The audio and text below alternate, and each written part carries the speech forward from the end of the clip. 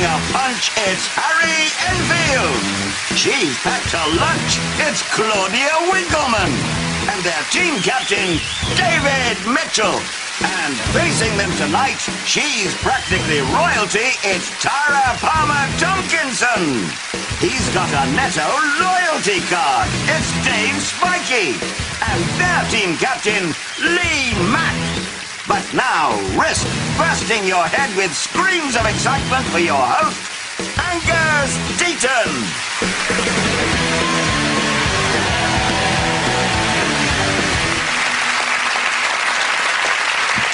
Good evening and welcome to Would I Lie to You, the show where cheating and lying is not only allowed but actively encouraged. Lying is part of everyday life for most people nowadays, as I was saying to George Clooney only last night in the bath. Many women lie about their age. For example, Geri Halliwell claims she's only 40. And Pinocchio, of course, was a compulsive liar who suffered from woodworm, sort of child's version of Heather Mills, if you like. Uh, which brings us inexorably to round one, Home Truths, in which our panellists read out a statement about themselves from a card laying before them. At this moment in the passage of time, they've no idea whether they'll be reading a genuine truth or a hideous lie made up earlier today by a crack team of YTS trainees. the uh, opposing team then use any means at their disposal, with the exception of blackmail and light sexual favours, to determine whether or not they're being lied to. Tara is first to surprise us all tonight. Your home truth, if you would. My home truth is that I have eaten a diamond. Why? I didn't mean to. I was at a restaurant in Paris and a guy put it in my pudding and he was so rat-assed by pudding he forgot to tell me and I ate the whole thing. Was this in a restaurant? Yes, it was in a restaurant And he put it in your pudding? Yeah. And by the time you got to pudding, he was too rat-assed to remember. in restaurants, they don't prepare pudding at the beginning of the meal and allow you to have a look at it and pop a diamond in it Oh, so that later genius. on... None of this adds up. I'm sitting next to Quincy. He went. He said to the people before, look, I want to surprise her, so can you put this diamond in her pudding? So he gave them the And diamond And then in we had a row and he got rat-assed and then I ate the diamond. End of. Right. At what point did he remember that he'd put this diamond in your pudding? Was it just after you'd eaten No, it? it wasn't just after. It was on the way back to while we were walking along the Seine. Still arguing. And then he went, oh, Jesus Christ! Could he have been lying in the same way that I... no, because I then went through Heathrow Airport and it went bring, bring, bring, bring, take off everything No, no. and everything, and then it was found to be held in my pancreas. They're called metal detectors, not diamond detectors. Yeah, but it's on metal. David, what, uh, what are you veering? Well, there are a lot of holes in the story, but then, you know, maybe Tara's just told it in a flaky way. Ah, You see, double bluff. I think it's... Why? I know. Look, There's I, a lot I about- heard you out there laughing at me. However, I think... Sure, there were areas where it didn't make sense. The metal detector, let it go. The bottom line is, I bet you it's true. Yeah, but I think it's the crafty kind of thing the researchers would have thought. What's the kind of stupid, tough thing? I'm going to go, it's a lie. He's saying it's a lie. He's overruling. Claudia. Tara, fact or fantasy? it's true. Oh. Sorry. It's absolutely true. I'm good at lying. I knew it. Yeah, it's true. Tara has eaten a diamond uh, when it was left in her dessert. Hard to know what's more surprising, Tara not noticing she'd eaten a diamond or that she once ate a whole pudding. not knowing what happened to the diamond, but if you're in a Paris sewer and see a rat driving a Ferrari, you'll know who found it. Uh, Harry, your home truth, if you would. I can identify any breed of dog just by hearing it growl. That's such a lie. How long have you been able to do this? Um, uh, Oh, yeah, right. Oh, yeah. this is how you put them off the scent. Oh, yeah. Um, I've been able to do it for five years. How did you learn then? I went and I visited lots of dogs. Yeah. And then, first of all, I listened to them bark, and then I looked away. And then I heard them bark, and then I learnt that bark. Okay, okay. Do a demonstration of a rock fighter. Woof! he can't imitate dogs. He just can recognise the growls. Okay, what's this one? Woo, woo, woo, woo, woo, woo, woo. It's a Rottweiler. No, it's a St. Bernard. No. Can you distinguish between like golden Labradors and black Labradors? Yes. Really? What's the difference between a golden one and a black one? You're such a liar. Well, they some go woof, and the other uh, do a slightly different woof. So you can do all, basically every single breed of dog. Can you do Could you, for cats example, too? just don't even bother with the growls? Could you name ten types of dog for us, Yes. please? Go on, name them. Well, Name. that would be a Yeah. good time. Yes. Golden Labrador. Yes. Black Labrador. Chocolate Labrador. Lee, uh, Hang on, I want to see if he runs out of colours. Whippet. Greyhound. Sorry, Tara, what are you going for? I think he's lying. I think we'll have to say that's not true. You're saying it's a lie. lie. True or lie? Lie. Who'd have thought?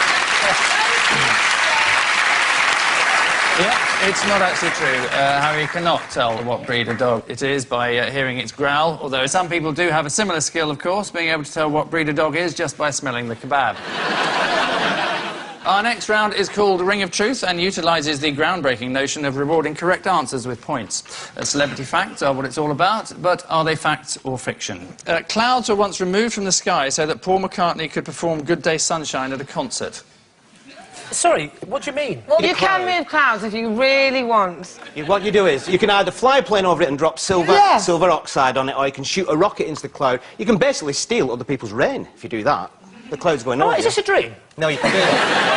So you're telling me that it's possible to move the clouds. No, I think cloud? it's true. Yeah, you have to have a lot of it might sound like a stupid question, but why would he move the cloud? Well, because it's a, day a good, good day yeah. sunshine. It can't be good, bold, cloudy day It's sunshine. just because the song's called Good Day Sunshine doesn't mean you have to have the cloud move. Yeah, but did if he, you're when he Paul sang Don't Let Me Down, did he gaffer tape himself to a lamppost? or something? It's like at my 21st, I didn't want is. clouds, so my dad had them removed. what? At my 21st, it was outside and we didn't have a marquee, so removed the clouds. Yeah. People Right, did- actually- Did he really? Did he send up planes? You mean, Yeah, are two sure you're not planes. Did, did you honestly, at your 21st birthday, get a cloud moved? No, I got more than one. There was, oh my God. the whole sky just over our house in Hampshire was blue. Yeah? Just to match my dress. You spoilt bitch! Oh, That's incredible! I might just add that that was a lie. Of Oh, course, my lie. dad didn't have clouds removed, and I never even had a 21st. God, you guys are so gullible. The sun slightly shifted to the right, but not the clouds. Tara, why have you started lying to your own teeth? lying lying is, a, is a skill that's useful in this game, but you've found a way of using it that doesn't help you. It's called weather modification, is what they call it. What I don't understand about that is Paul McCartney is doing this concert for money, isn't he? He's going, he's doing a musical tour for money. yes. That's his job. People are going to turn up to watch him sing Good Day Sunshine, whatever the weather. Why is it worth his while to spend $40,000 getting rid of the clouds? You could have asked the crowd, look, I've got 25 grand here. We can either get rid of the clouds or it's vodka for everyone. it's always sunny when you're pissed. But to your answer, The fact is, you definitely can do it. The, the question is, did Paul McCartney have it done No, for this one honestly, day and they were removed at my 21st. I just didn't like You it when you did, said really? spoiled bitch, but, so I lied. But yeah, it was a double bluff. But yeah, I think Oh, think you they did have it done, really? Yeah, yeah. Okay, well, so we can keep it in, because I don't want Yeah. to lose that story. I'd like to redress my comments. No, it's true. That's a really good idea. Well done for being so wealthy. Did you really have that? Yeah, you could do it. You don't need a big old Gulfstream, just a little plane. to be honest, actually, it's not a thing about being rich. It's slightly to do with being rich. If Well, you get a plane to move a cloud, but it doesn't. I'm saying it doesn't have to be a Learjet. I mean, we live on a farm. You You- as opposed to these council estate Cessna-like aircraft, you mean? Do you think some of the problems of drought in Africa have been caused by too many people having 21st birthday parties too close to each other? so David, um, what are you thinking? I think it's eminently plausible, unless my team overrules me. Well, I'm not. I'm going to remain silent, and if you're wrong, I'm going to really be furious with you. Okay, so no Okay. pressure. They're saying it's true. Uh, Lee, Well, uh, well, I, uh, what do you think, Tara? What are we Well, saying? I think it's true. He mustn't use my plane. Um, I think it's absolute rubbish. Uh, well, I'm going to go with Tara because if she knows about moving weather, I'm, I'm going to I'm going to go with that. Do you want to marry me now? Can I just say, hand on heart, without a hint of irony, you are, without doubt, the most frightening person I've ever met.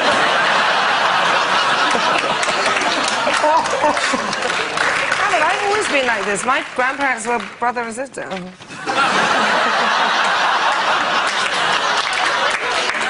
That's more extraordinary than any fact we've had on the show so far. Are you saying it's true or untrue? I'll, I'll- true. I'll go with Crazy Lil and say,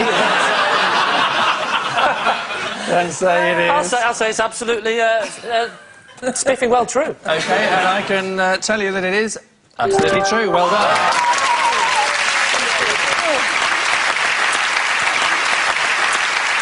Yes. Yes, it's true. Paul McCartney did have clowns removed so he could perform Good Day Sunshine at a concert. Later that same concert, the audience asked to have its ears removed before he performed the frog chorus. and so, uh, at the end of that round, it's uh, Lee's team who are the cream of the crop, leading as they do 3 2. Our next round goes by the strangely decimated title of This Is My. Each of Lee's team will claim to have a close association with our special guest person. Each of David's team will then interrogate, cajole, bully, and finally identify the member of Lee's team who is telling the truth. So please welcome this week's special guest person, Dave.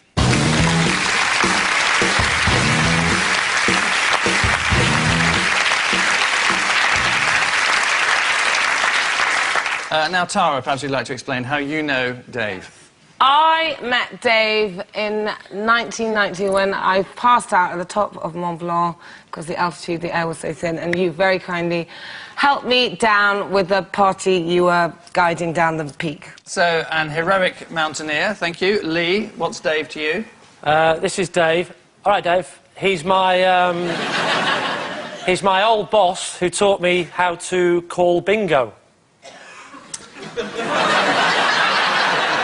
So, a bingo calling instructor. And finally, Dave, your relationship with Uh, this is Dave. He's a, this is Dave. He's a mate of mine from down the pub. Colin him Bestie. Um, he makes forty thousand pounds a year on pub trivia machines. So, there you are. A life saving mountaineer, according to Tara, a bingo tutor, if we believe Lee, or a quiz machine whiz kid and friend to Dave. Uh, David's team, your call. Let me ask about Mont Blanc. So, so were you skiing or were you No. I was actually on a photo shoot. It was at the top there, and that's where I passed out because the altitude was so thin. And um, he helped me down. Where's Dave from? Dave, you can't speak. You can't ask. No, I'm asking you. Where's he from? He's French. He's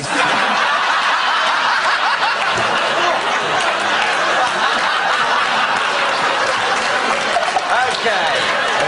Right, we've taken one of them out.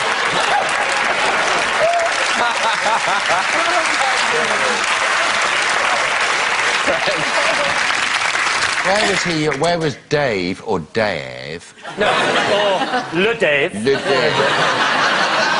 Where was Le Dave, your boss? Uh, Dave, the boss, was, was working in the bingo hall. I wanted to talk bingo. I want to give you some numbers. Do it. Any Shakespeare of your done. life. What? 86. 86, yes, that's in bingo. Do a bingo call thing after it. Eight and six. 86. it's not hard. I've got a system for all of them. Eight. Oh, you mean the little, the you're- little rhymes? The rhymes they do? Yeah. Okay. Oh, I see. The Wait. garden gate, number eight. 72. Uh, look at my shoe, 72. Eight, 89. oh, look, it, the weather's fine. it used to be cloudy, but luckily we got Tara's plane to blow the clouds away. Look at it now, it's very fine, 89. So, why is he called Bestie? Bessie. He's called Bestie because he lives off bacon, egg, sausage, and tomato. Oh, he, he doesn't look like a man who lives off bacon, egg, sausage, and tomato. I look like a all man who lives off bacon, egg, sausage, and tomato. And, you know, even I've been known to have some fruit. So, Six years ago.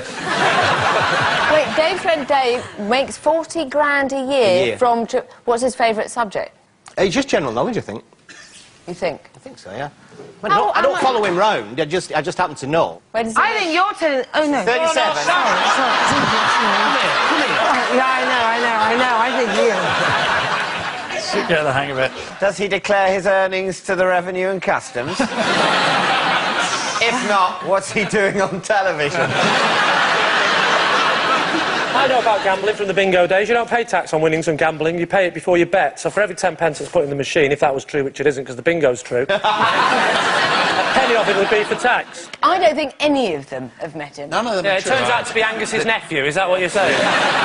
It would be an interesting could twist. be. Angus, got give us a hair little clue. Uh, well, I can't really, other than saying that it's either Tara's mountaineering marvel, uh, Lee's bingo expert, or Dave's trivia king. I think it's Dave's, mate. I, um, I heard about people making money from fruit machines, but Oh. not quiz machines. I think the most likely story is Lee's at the moment. And you don't seem to be considering Tara's at all. We don't absolutely know Tara's l- wrong. There You might... don't absolutely know, but I think If the clue they- was when she said to Dave, I think you're telling the truth. That could be me just bluffing. You Not now you've said that. that Tara could be. could be playing this game on a higher level than any of us. Right. I, Right, Whatever well, you I, say. I'm going to go. Go. I think on, it's. David. I think it's Lee's bingo calling boss. Dave, special guest Dave, would you like to tell us exactly who you are? I'm Lee's ex-boss, and I taught him how to be a bingo caller.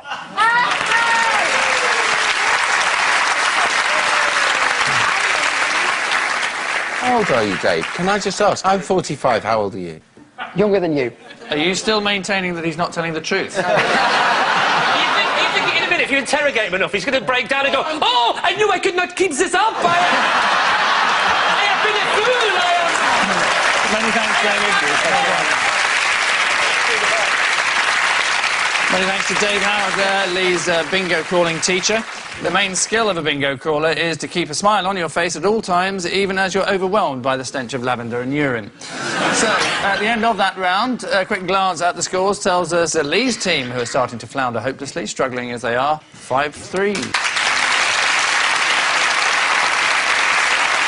And so, to Telly Tales, this week our area of specialist interest is Tomorrow's World, uh, the show that predicted the way all our lives would be in the future, although strangely didn't foresee that we would be living our lives without the television programme Tomorrow's World. OK, Harry has an intriguing piece of information loosely related to this. The flamboyant Prendeville takes the cue ball and places it for his opponent, the world champion of the year 2000. About to pick up the cue ball.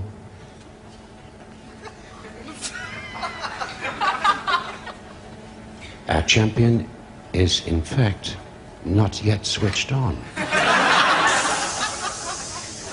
Well, we appear to. Nothing appears to be happening. Let me introduce, first of all. Oh, wait a minute. And the opponent's back at it. He's in for a big break. Takes the cue and the red into the bottom pocket.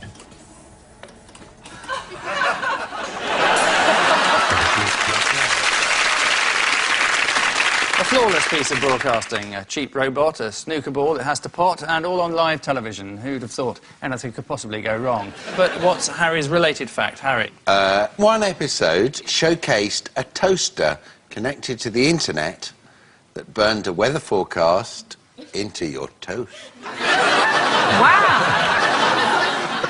There's too much information for my brain to digest. The toaster does it. It dials up the internet, and your toast pops out with a cloud, sun, or raindrop symbol on it. I Oh, it's it's symbol so on the toast, right. I mean, I'm, I'm guessing that, you know, sailors Yeah. aren't using it, are they? There's a big thing we've got to get right with the weather, otherwise we could all die. Don't worry, check in on the old world service. I've got a toaster. Little sun symbol. Let's get out there. Never seen again. It's, yes, I mean, not a very detailed weather forecast. Yeah, this sounds like an ITV weather forecast, what I'm hearing. Sunny! Not sunny! Sponsored by Powergen. It was voted uh, one of the 80 most important ideas of 2001. Yeah, I think it's really good. You think it's true? Yeah, definitely. Tara, you got a machine that dries you when you come out of the shower. Yeah, yeah I do actually. How do you know that? The Filipino boy told him. It's air. It's what? It's just air. It just counts like a whole room. It just air. You Well, most people have there. air in their bathrooms. Uh, hey, What- what's the it's very with unhygienic to dry with towels, apparently. Right. How many people die of towel-related diseases? I mean, this is a level of hygiene that clearly doesn't actually matter. Look, let me tell like you- when they say there are more germs on your chopping board than are on your Lucy. well, if that's so, it clearly doesn't matter, does it?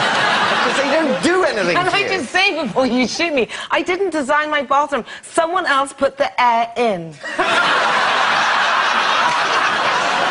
Okay, we're going to push you for an answer. Uh, I'm going to let uh, Tara make the decision. True, true. Uh, but you are team captain. Your word is final. Okay, that's true. Yeah, because he follows. I've got him under my spell. Let's see if they are remotely correct. Is a true. It's a truth. Uh, yes, it's true. Uh, Tomorrow's World did feature a toaster that burned the weather forecast onto your toast and uh, proof, if proof were needed. Let's see what we can expect from the weather. It's a prototype, so I have to help it a little bit. Uh, a bit cloudy that side, but this is the side that matters. And look, tomorrow it is going to be cloudy. That, that is shit. that is really shit. I imagined how it would be, and I imagined it about ten times better than that. Tell you what, it look, doesn't it look more like, uh-oh, looks like there's going to be an atom bomb Yeah. dropped on us. Again. No, I think it's brilliant. That could become addictive every morning. Oh, I wonder what it's going to be. Don't open the curtains, let's wait.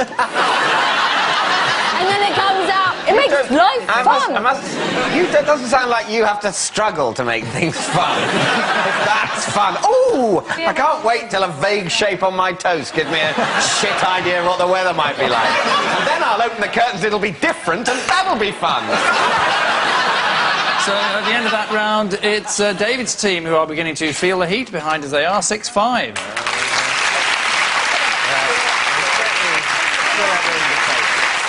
And so to our final quickfire round, in which our plucky contestants reveal another truth or tell another lie about themselves, depending on uh, what's printed on the back of their as yet unseen cards. Lee's team are in the lead, so David's team need to, uh, quite frankly, get a grip. Starting now, Harry. I once pushed a man in a lake for following me, shouting, "Only me."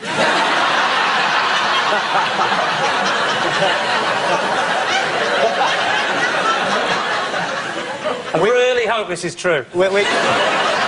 Which lake, Harry? Were you on tour or was it? It was a lake in Cumbria, but it wasn't Wi- Windermere. So how exactly did you push him? He was in my private area, if Can- you know what I mean. I don't, you know. I just went. I can't use the language I use, but I did just get. And I Did just. the man So get sort of- really wet? Yeah, he was in the lake and yelling. What was he yelling? Only me drowning. the poor bloke could have been on the phone, couldn't he? And his wife could have been saying, Who are you with? It's only me. Story, actually.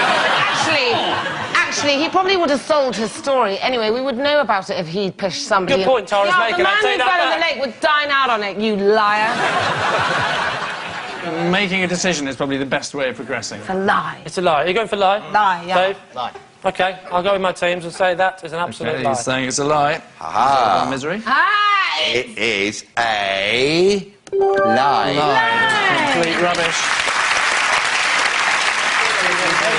Yeah, it's a lie. Harry has. Uh, Harry has never pushed a man in a lake for shouting, only me. It's childish, immature, and irritating to repeat Harry's old catchphrases back at him, something which is well known to everybody peeps in it. Next, Dave. I bunked off school to go to London with a boy called Dick Whittington. How old were you? I was uh, 16. Was he really called Dick? It was Richard Whittington, obviously. And did you call him Dick? Of course you did. Obviously See, you did. that's where no one would call their child. If you were Mr. Whittington, would you say, "I know, I think you would. I'm going to call my child Richard"? No, some people do it. I know somebody called James Bond Oh, and a oh. guy called Jack Russell. Yeah, but you're a hooray, and they do ridiculous things. What did you do in London? Why did you Well, bunk he just said that his uncle, his uncle knew the Beatles. They were on doing a public, public appearance in Carnaby Street, opening I don't know what. And if we went down, he could get us a ticket, we'd get in, and we'll meet the Beatles, and he'll sign his autograph. Was he your best friend at school? No, he wasn't really. He had the chip shop. He always smelled of chips. He just asked, what was the name of the fish and chip shop? Was it Yeah. called Whittington? It was called Chippy's Place. Chippy's Place. You know, P-L-A-I-C-E. I Yeah. I can't believe that Yeah. a man is sitting here saying that he went with his mate Dick Whittington, who owned a chip shop, to London to see the Beatles, and your question is, what was the chippy called? You're going to have to come to some kind Well, of decision. I- Ask your teammates. Uh, I'm going to abstain. I will announce in my official capacity as Right. captain the decision that Claudia and Harry make. Because I'm just, the nerves are getting to me too much. Anyone, of course, I he... think it's That's true. fine. Delegate. Actually, I think it's it's true. I think it's true. think it's a lie. Actually, I think it's true. I think it's true. Right. I don't know is the answer. That doesn't help Right, you. so I it's think all down to you, Harry. Okay, let's say lie. It's a lie. They're saying it's a lie. It's absolutely nonsense. Uh, yes, there you are. It is uh, complete rubbish. Dave did not bunk off school to go to London with a boy called Dick Whittington. Luckily, Dave realised in time that the streets of London weren't actually paved with gold, but with chewing gum and dog shit. uh, next, Claudia. Oh, hello. Hi. I wrote to Jim will Fix It asking to meet ABBA. They wrote back offering the chance to see how the blue bits were made in cheese. Did you explain why they did that? Yes, they did, and I'll tell you for why. Because somebody was interested in the blue bits in the cheese. I'd like to throw in the word Stilton at this point. And that person had a cold. And so they had an opening. They had an area of the factory somebody could go in, or where they make cheese with the cows. Cows, yeah. the cows provide the milk. They don't manufacture it. So basically, what you're trying to convince us in this story is that you've Yeah. written off to, to want to see ABBA. I did. And he said, "Would you be interested in doing the cheese Yeah. thing instead of the ABBA thing?" I did. Yes. And you've and you've got back and said you don't want to do that. Oh, well, I politely declined. Well, you Claudia, would, you're of such a bad liar. I don't believe a word of it. So you did you didn't go. And you never met ABBA. I never met ABBA, and I didn't meet um, the cheese people. And you never got a Jim will fix it badge. No. Uh, Lee, uh, a decision of some yes, sort. Tara, what do you think? I think um, Claudia's lying. And what are you basing that on? I just know Claudia. no! I think it's accepted. I think, yes, that she probably wrote and wanted to see ABBA, but they wouldn't offer you cheese. yeah, exactly. That's the bit I'm doubting. It's the cheese bit. Should we go Okay. with the lie then? Yeah, I'll go for the lie. I think uh, Claudia might be lying. Okay, Claudia, Okay, truth or lie? I will tell you. Okay. It is actually true. Ah, you're so good. It's completely true. Yes, it's true. Claudia did ask Jim will fix it if she could meet ABBA, but was instead offered the chance to see how the blue bits were made in cheese. So Jimmy's quite keen on seeing how blue mouldy bits develop. That's why he stayed with his mum so long after she died. the uh, blue bit in cheese is, in fact, a living fungus that smells slightly off and serves no useful purpose, much like Sir Jimmy himself nowadays. So, uh, enough. I'm sorry, of order. Enough about uh, Jimmy Savile, or to give him his full title, Sir Jimmy Savile, the creepy old man who washes his pants in the showers. Uh, which rude interruption means at the end of our final round, it's uh, David's team who have proved themselves to be superior human beings, having crushed Lee's team 9 8.